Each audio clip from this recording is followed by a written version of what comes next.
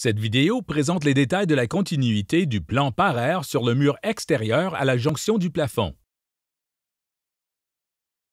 Le par-air passe de l'isolant posé sur la face extérieure au par-air par vapeur de polyéthylène scellé posé sur le plafond sous les fermes du grenier. Installer des évents d'entretoit Raft Air Mate de Owens Corning Canada pour assurer une ventilation appropriée du grenier tel que défini dans le code en vigueur.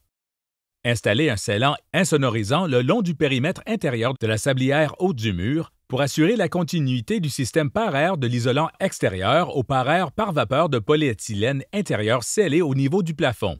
Sceller tous les joints du par air par vapeur de polyéthylène sur le plafond avec le ruban Joint Sealer. Installer l'isolant en fibre de verre en vrac Pro Pink Fiberglass de Owens Corning dans le grenier.